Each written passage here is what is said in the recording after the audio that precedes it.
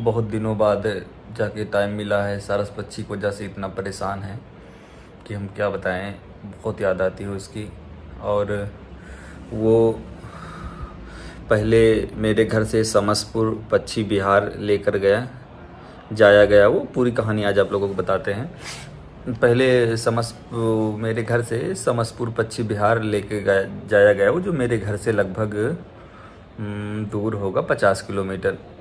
वहाँ पे उसको रखा जाता है और रखने के बाद एक दिन बाद जब उसके खुले में छोड़ा जाता है दूसरे दिन तो वो मुझको खोजते हुए निकल पड़ती है वहाँ से समसपुर से काफ़ी दूर निकल कर एक गाँव में जब कुछ लोग दिखाई देते हैं तो वहाँ नीचे आती है, तब तक उसको जंगली कुत्ते घेर लेते हैं।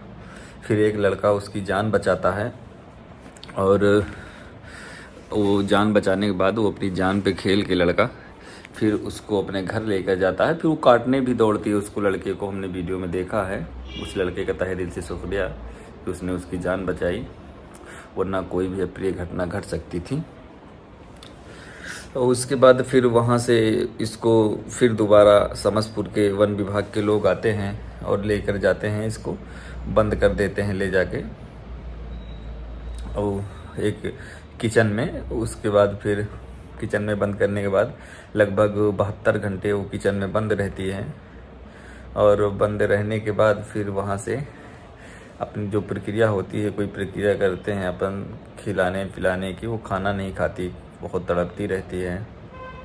फिर बीच में एक दिन लखनऊ से चिड़ियाघर वाली गाड़ी आती है लखनऊ की, और उसको ले जाकर, लोगों को लगता है कि लखनऊ चिड़ियाघर ले जा रहे हैं, पर उसको ले जाकर कानपुर वाले चिड़ियाघर में वो रख देती है।